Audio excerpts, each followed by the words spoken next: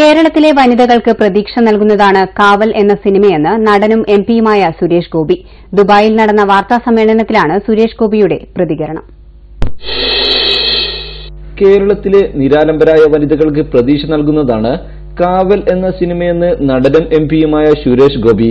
കാവൽ റിലീസിനോടനുബന്ധിച്ച് ദുബായിൽ നടന്ന വാർത്താ സമ്മേളനത്തിൽ സംസാരിക്കുകയായിരുന്നു അദ്ദേഹം. ഇത് കാവലായി വരുന്നു.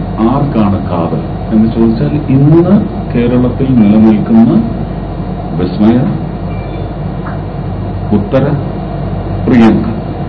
ഇതുപോലെ നമ്മൾ അറിയാത്ത എത്രയോ കേസുകളുണ്ട്. ഒരു കാവൽ ആവശ്യമായ ഒരു സ്ത്രീപക്ഷം സ്ത്രീപക്ഷമുണ്ടെങ്കിൽ അവർക്കൊരു പ്രതീക്ഷ. എന്ന് വെച്ചപ്പോ തമ്പാൻ ഓടിപ്പോയി കേരളത്തിലെ മുഴുവൻ സ്ത്രീകളെയും സംരക്ഷിക്കാൻ കാവലൊരുക്കാൻ വരുമെന്നല്ല ഞാൻ പറയുന്നത്.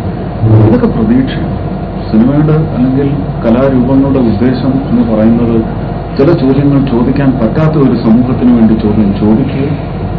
അതിനുള്ള ഉത്തരം നേടിയെടുക്കുക. ഈ സിനിമയെ സംബന്ധിച്ച് ചില ചർച്ചകൾ വരുമ്പോൾ അവിടെ നിന്ന് ചില ജൽപ്പനങ്ങൾ നടത്തുന്നവരിൽ നിന്ന് ജനങ്ങൾ കൂടുതൽ കാര്യങ്ങൾ എഴുതാപ്പുറങ്ങൾ വായിച്ചെടുത്ത് അവർ മനസ്സിലാക്കുക. അവർക്ക് പുതിയ നടപടി പിന്നീട് അവരുടെ ചില ഭരണ നിശ്ചയ മുഹൂർത്തങ്ങളിൽ അവർക്ക് തീരുമാനങ്ങൾ മാറ്റിയെഴുതാൻ ഇതിനെല്ലാം കാരണവും സിനിമ ഡെഫിനറ്റ്ലി വിൽ ഇൻഫ്ലുവൻസ് ചുരുളിയിലെ സംഭാഷണങ്ങൾ വിവാദമായതിനെക്കുറിച്ച് പറയാൻ താൻ ആളല്ലെന്നും കാവലിന്റെ സംവിധായകൻ നിതിൻ രൺജി പണിക്കർ പറഞ്ഞു.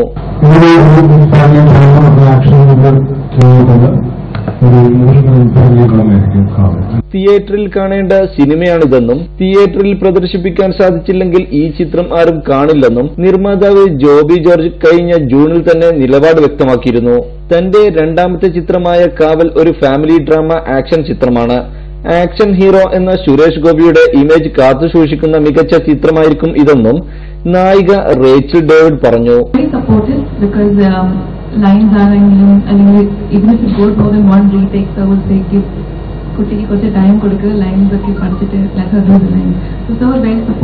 Truth Global Films M D Abdul Samad Goodwill Entertainment production finance controller Shravan U B N chairman Bibi John Truth Global Films പ്രതിനിധി രാജൻ വർക്കല എന്നിവരും വാർത്താ സമ്മേളനത്തിൽ സംബന്ധിച്ചു.